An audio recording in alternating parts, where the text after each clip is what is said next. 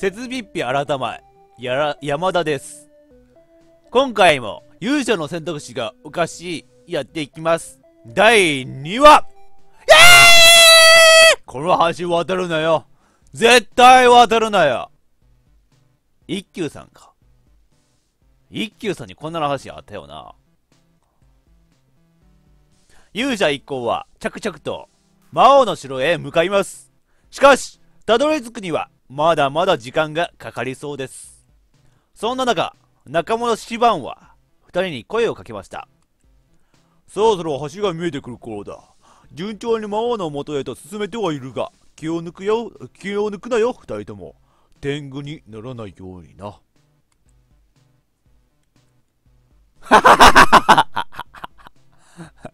なんだその山田推しは、お前。この作、このゲームの作者さん山田っていうのか。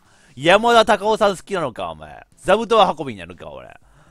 天狗じゃなくて、山田なんですけど。だから毎度毎度その、その顔、ガチの顔やめろ、お前。いや、僕の名前、天狗じゃなくて、山田なんですけど。そう、あなたは家原がちました。ああ、それは分かってる。変なことをほざいてないで、さっさと行くぞ。山田、スルされた。とうとうしつこいぞ、お前、みたいな感じでスルーされた。スルースキルが備わっているね、シバン君。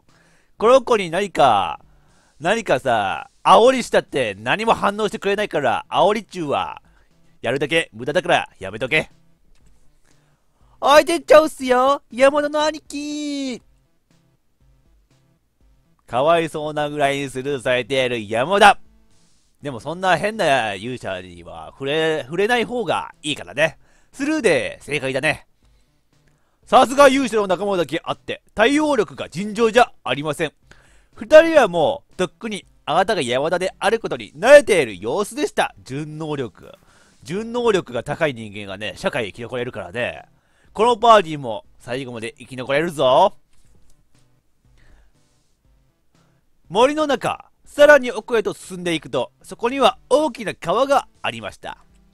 そこにはとても古臭い木の橋と一つの看板が立てかけられていました。その看板を読んでみると、この橋、危ないから渡るな、と書かれています。どうしますか何々相談、真ん中を渡る、危ないので橋を倒しておく。あ、でも橋を倒しておくってさ、割といいかもしれないな。だってさ、危ないっていう看板見ずに渡ってくるドキュンがおるかもしれないからな。そんなドキュに限ってさ、渡って、あー落ちたってなったらね、この橋を作った人にね、賠償請求するからな。危ないから渡るんだって書いてあるからね。しかも見てもちょっと危ないって思うだろうにね。それなのにね、ドキュンってね、渡っておいて、あーってね、板で折ったらさ、人に怒るからね。ドキュンってそんなにもんでです。そんなもんですからね、ドキュンって。えー、さて、選択肢に戻りましょう。ここは一休さんみたいに行くか。一休さんの話だけ一休さん的に行くか。真ん中を渡る。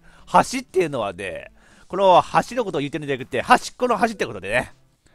例のトンチを知っていたあなたはドヤ顔で、橋を渡らずに真ん中を通れば、危険じゃないんだよ。と言いながら落ちていきました 残像できてるもんもう、落ちるのが一瞬過ぎて残像できてるもんキャー!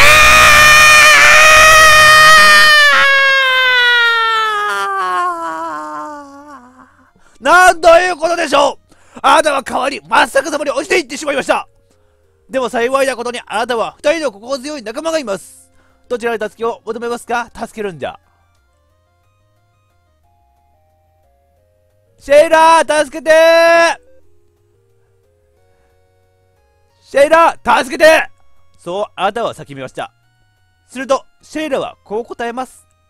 任せてください。中魔法は大の時なんで、思う存分落ちてもらって大丈夫っす。ありき落ちるのは助けてください 即死しちゃうもんだいその直後、助けを求めるのに必死だったあなたは、マスターの石、頭から激突してしまいました。強く頭を落ち着けた勇者は仲間に運ばれて一度国に帰ることになりました。その後、シェイラの治癒魔法により外傷はなくなったものの、なんと記憶をなくしてしまったのです。自転車の乗り方に関する記憶を、いい年して自転車の乗り方を忘れてしまった勇者は、もう魔王退治どころではありませんでした。勇者としての活動を一時休業し、仲間に自転車の後ろ部分を持ってもらったりして、懸命に訓練に励むのでした。あ、自転車ってさ、大人になってからってさ、割と乗らんようになるよね。最後に乗ったのは俺、高校生の時だ。いや、ちゃうな、専門学校生の時だったかな。大人になったら、車ばっか乗って自転車乗らなくなるから、別にいいと思うんだけどな。てか、この世界、自転車あるんだね。この世界、自転車あるんだね。異世界、異世界やけんさ、なんか自転車ないもんかなと思ったけど、あるんだね。だ、でも、ハンガ、ハンダゴテあるもんな。ハンダゴテあるから自転車あってもおかしくないね。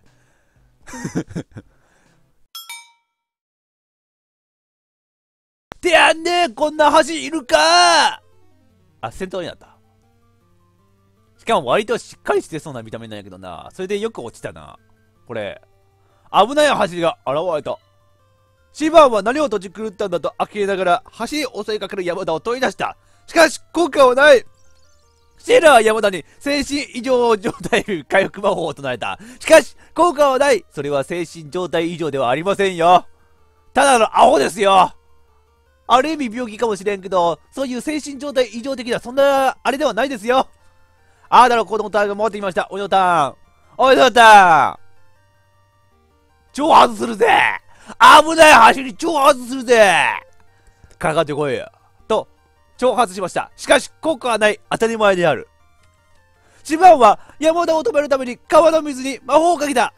川の水は竜へと姿を変え、山田に襲いかかります。そこまでする？え、逆にそこまでする？そこまでせんから止められるのか？ヒット山田に126のダメージあなたは寝たことによりしょんぼりしてしまいました頭を冷えたかシバンは低い声であなたにそう語りかけます。さっさと進むぞ。そういったシバンは荒っぽく二人の体に触れたかと思うとヒュッと音を立ててあっという間に橋の向こう側に移動しました。そんな魔法あんのか。先言ってよ。そんな魔法あるんだったらさっき言ってよ。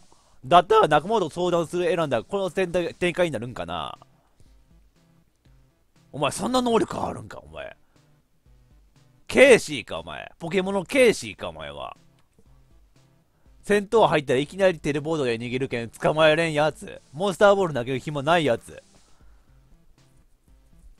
そんなコーナーで、なんとか走る向こうを渡れた勇者一行は、さらに奥深くへと足を進めます。すると、そこに一人の中年の男性が座っており、店を構えていました。ウェルカムって言うてさ、武器売ってくれる武器商人ってバイオハザード4におるよね。あんな感じなんかな。ヒッヒッヒ、サンキュー。その商人があなたたちに気づくと、嬉しそうに明るい声で話しかけてきます。ああ、こんにちは。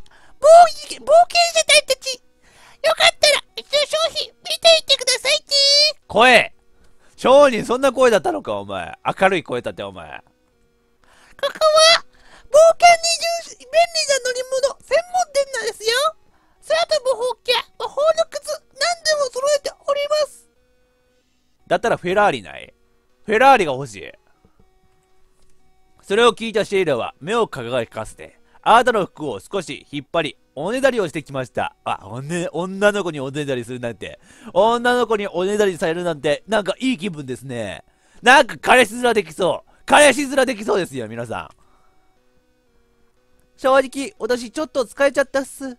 兄貴、なんか買っていきませんか？うん、フェラーリ。フェラーリないかな？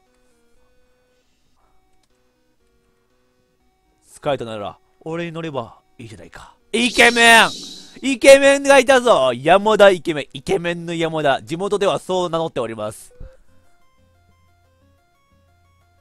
疲れたなら、俺に乗ればいいじゃないか。そう言いながら、あなたはシェイラに腰を突き出しました。え？おんぶかと思っとったら、なんか SM プレイみたいなのが始まりましたけど。え？え？ー当たり前ですが、シェイレは慌てている様子です。見かねたシバンがあなたの尻をどつきました。これぐらいさっさと買ってやればいいだろう。変な行動を起こすんじゃない。資金管理係のシバンは山田を睨みつけながら財布を取り出しました。お前、資金係だったんや。シバン、フェラーリを買ってくれ、フェラーリを。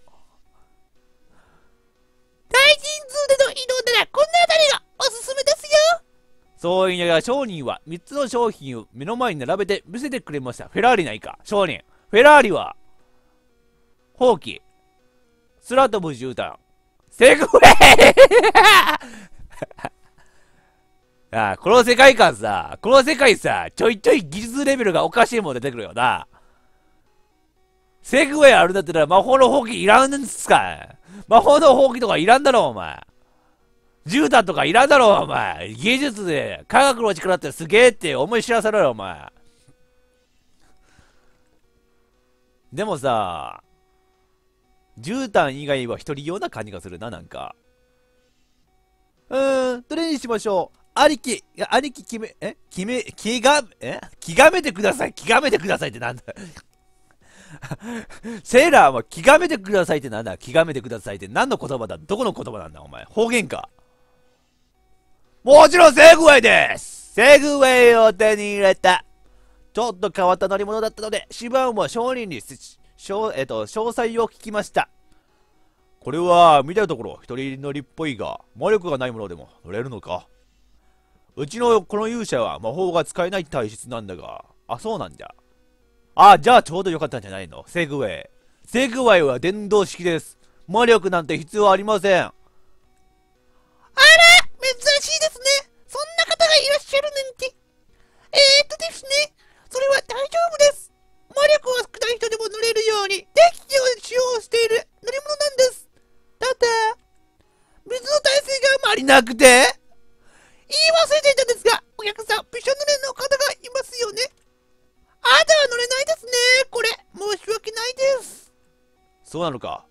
山田、それはダメだ。手を離せ。セグウェイを手放した。乗りたい乗りたい乗りたいよセグウェイ乗りたい乗りたいよ乗りたいもんで どれぐらい乗りたいかって言うたら、ちょもらんま級だもんねあ どうしてもセグウェイに乗りたい乗りたい。あなたはその気持ちを最大限に伝えるべく、ねに、えっ、と、床に寝そべり、両手足を、じば、じたばたさせ、だだをこねました。何歳の子供だ、お前は。二人は呆れた顔であなたを見下ろしました。そろそろ勇者、かっこ、部別の目を。そこでジバンが、えっ、と、ジバンが、少し悩んだ様子で、ゆっくりと口を開き、あなたにこう伝えました。わかった。俺がセグウェイに乗れるようにしてやる。ただし、2分の1の確率で吹っ飛ばされる危険があるが、それでもいいのなら魔術をかけてやる。どうする？ちょっと、そんな危ないことをしないでくださいっすよ。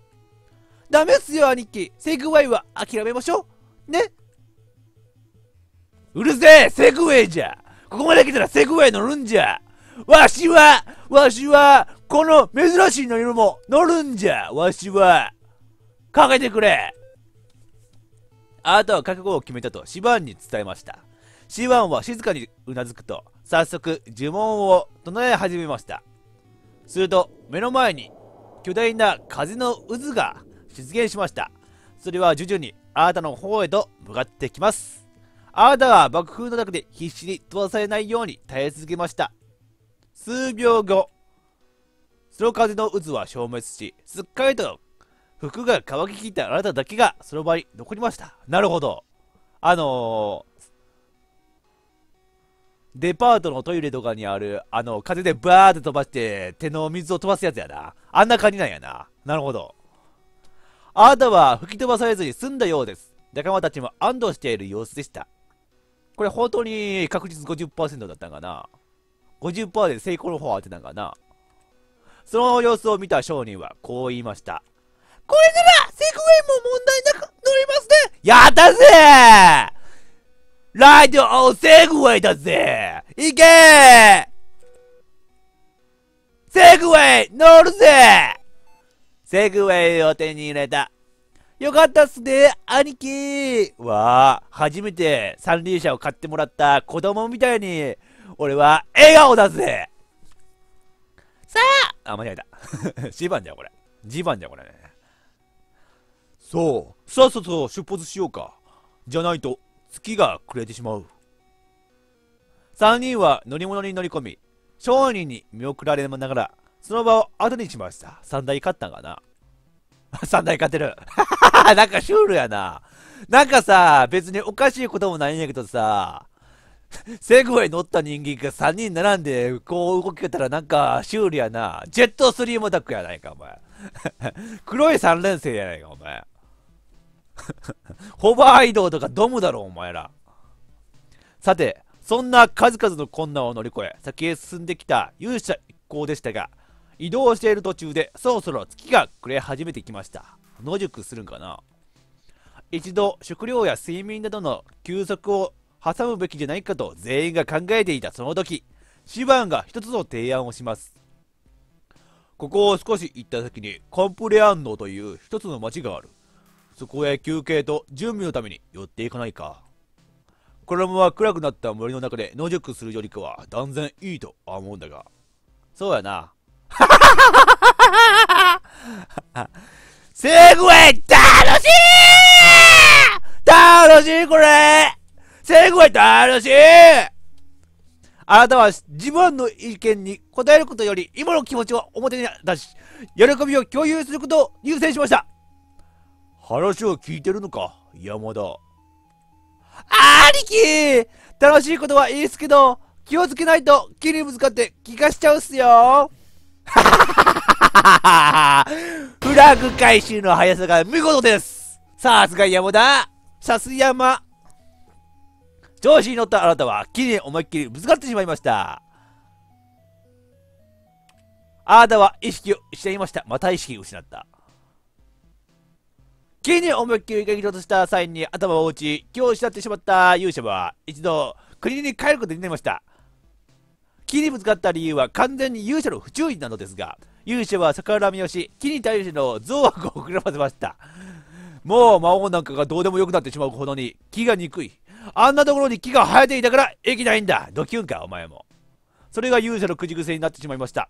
どうしたものかと悩んだシバンとシェイラは、王様に相談し、落ち着くまで聞こえとして生活してみるのはどうかという話にまとまりました。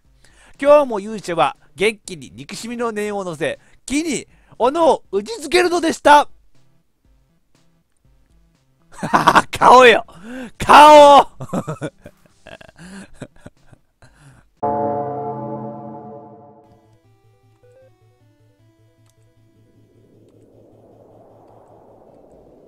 あ、これ、ほんまに無理なパターンあるんじゃ、これ。ほんまに50%だったんだよ、これ。同じ選択しても失敗のパターンがあるわ。無理でした。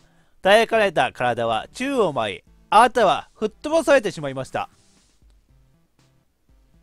勇者は風によって、なんと元来た国まで吹き飛ばされてしまいました。そして勇者はそのことを強く吐きます。風程度に負けていて魔王に勝てるわけがないと。その日から勇者は己を一から鍛え上げるための訓練を始めることにしました。晴れの日も雨の日も風が強い日もセイラに風邪ひくからやめてくださいっすと言われながらも今日も元気に訓練に挑みます。今更か。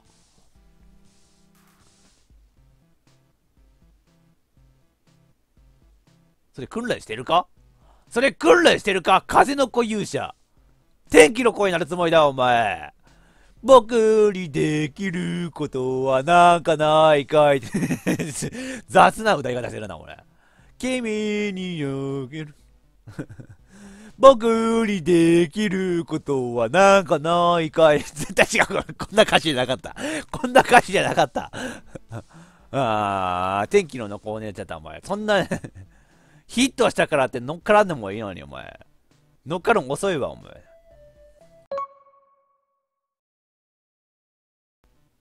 よっしゃ。ここはちゃんと街に寄っていく方を選びます。街に寄ることは賢明な判断だと言えるでしょう。そう思ったあなたは、地盤の町に寄るという提案を受け入れました。1時間ほど移動すると、その目的である町が見え始めます。結構でかい街やな。なんかウォールローゼあるけど、ウォールローゼが。なんだこれなんこれもしかして進撃の巨人の世界なん？なんか巨人が襲ってくるけん壁で囲った感じなんとらわれた屈辱が的な感じか。街には入るべき。えー、勇者一行は入り口付近に追い立ちました。見てみると、その街は大きく厚い壁に囲まれ、門の付近にはいかにも手だれそうな門番が2人もいます。さすがに魔王の国から近い町というだけあって、防護対策は万全なようです。さあ、町に入ろうとしたその時でした。足元にある看板に注意書きが書かれていることに気がつき、あなたはそれに目を通しました。そこにはこう書かれていました。赤い人侵入お断り。なんで？なんで赤い人ダメなん？山田ってもう赤が象徴なんですけど、山田隆夫さんって赤の人なんですけど、山田隆夫さんが別の色の、の浴衣着て、浴衣かあれ。まあ、やつ着とってどうかと思いますよ。例えばさ、黄色かったらさ、それ、山田さんじゃなくて、菊王さんになるからね。どうやら赤い人はこの町に入れないようです。なんでだよ。なんだ、牛がたくさんいるんか。赤い服見たら、興奮してすごい走り込んでくるのか。突っ込んでくるんか。あーだの服装は全身、ま、赤色なので、黒町に入れないかもしれません。これからどうなってしまうのでしょうか？この魔王を倒す勇者たちの冒険は休憩することすらも一筋縄ではいかないようです。あ、ここで終わるんじゃいいかい。この橋渡るなよ。絶対。渡るなよ。